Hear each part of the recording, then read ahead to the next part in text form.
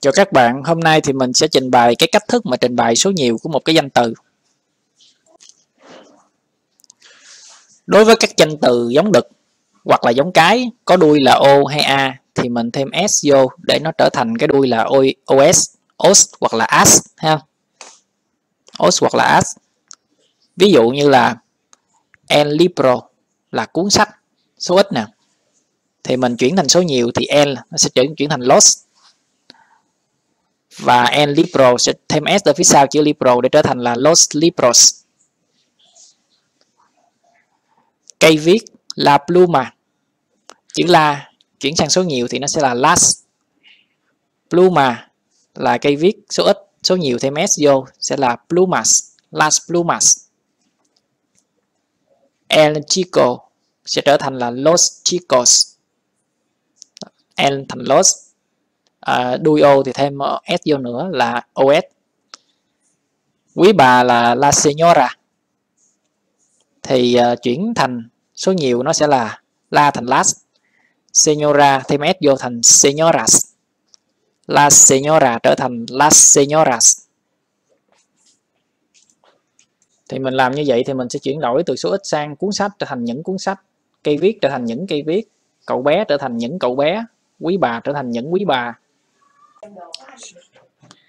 nếu đuôi của danh từ số ít mà không phải O hay A thì mình thêm số nhiều bằng cách thêm ES. Giới tính của cái danh từ vẫn được giữ nguyên nha. Ví dụ như là El Emperador là cục tẩy. Đuôi của nó không phải O, không phải A mà nó là giống đực.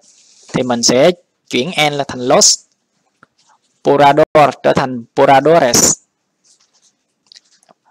Cục tẩy El Emperador đã trở thành những cục tẩy Los Poradores. Tương tự La Universidad, đại học giống cái thì chuyển thành à, số nhiều á, chữ La nó thành từ chữ Las. Universidad nó trở thành Universidades. Tương tự El thành Los Profesor trở thành Profesores. El Profesor một um, ông giáo sư. Ông giáo sư sẽ trở thành là những giáo sư mà giáo sư đây là giống giáo sư nam nha los profesores, hoặc là trong một nhóm giáo sư cả nam lẫn nữ, thì nó sẽ theo giáo sư nam. La ciudad trở thành la ciudades. Máy bay el avión trở thành los aviones. Cuộc trò chuyện la thành las còn conversación trở thành conversaciones. Phần chương la sección trở thành las secciones. TV la trở thành las television sẽ trở thành televisiones chiếc máy bay trở thành là những chiếc máy bay, cuộc trò chuyện trở thành những cuộc trò chuyện, phần chương trở thành những phần những chương. Cái tivi thì trở thành những cái tivi thì ở đây mình cũng nhắc các bạn lại một cái lưu ý, đó là ở cái chương trước mình nói với các bạn á, những cái danh từ số ít nào mà đuôi ion á, thì nó sẽ là giống cái tuy nhiên cái chữ en avion này á thì nó lại phá cái quy tắc đó nó không theo cái quy tắc đó. Thì các bạn phải uh, nhớ cái trường hợp này để mà thuộc lòng nha. En avion là chiếc máy bay giống đực. À có nghĩa là những cái từ mà danh từ giống cái xin lỗi các danh từ mà đuôi ion này nè thì được quy định là giống cái hết. Tuy nhiên có một trường hợp đặc biệt đó là en avion nó cũng đuôi ion nhưng mà nó lại là danh từ giống đực. Các bạn phải thuộc lòng cái trường hợp này. Ngoài ra các danh từ số ít mà giống đực giống cái nó có đuôi là zeta tức là z đó. thì khi số nhiều thì cái cái đuôi đó nó sẽ chuyển sang cái đuôi là đuôi ses à, ví dụ như là el lapis là cây bút chì giống đực ha thì số nhiều l trở thành los. Còn lapis cái chữ z này nó bỏ đi nó thay bằng chữ ses thì à, những cây bút chì nó sẽ là los lapises giọng nói labos à, chữ V này đọc giống như chữ B nghe mấy bạn. Labos thì là giọng nói giống cái thì những giọng nói chữ la thành las. Chữ bos nó trở thành voices las voices là các giọng nói. Tương tự tấm thảm and tabiz thì những tấm thảm nó sẽ là los tapices. Diễn viên nữ la actriz các diễn viên nữ la thành las actrice bỏ chữ z thêm ses vô thành las actrices nếu mà mình có một nhóm nhiều người hoặc là vật cả đực lẫn cái thì thì mình sẽ dùng giống đực để làm đại diện. Ví dụ như có một đàn mèo và trong đàn mèo đó có cả con đực lẫn con cái thì cái đàn mèo đó mình sẽ gọi là los gatos.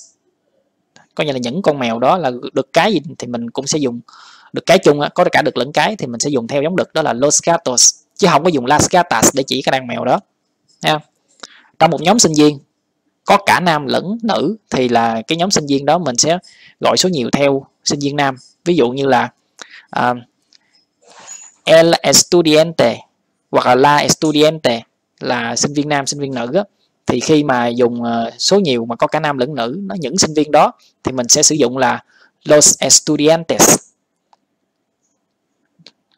hoặc là có một cái chữ khác để chỉ sinh viên đó là chữ el alumno hoặc là la alumna là sinh viên nam hoặc là sinh viên nữ.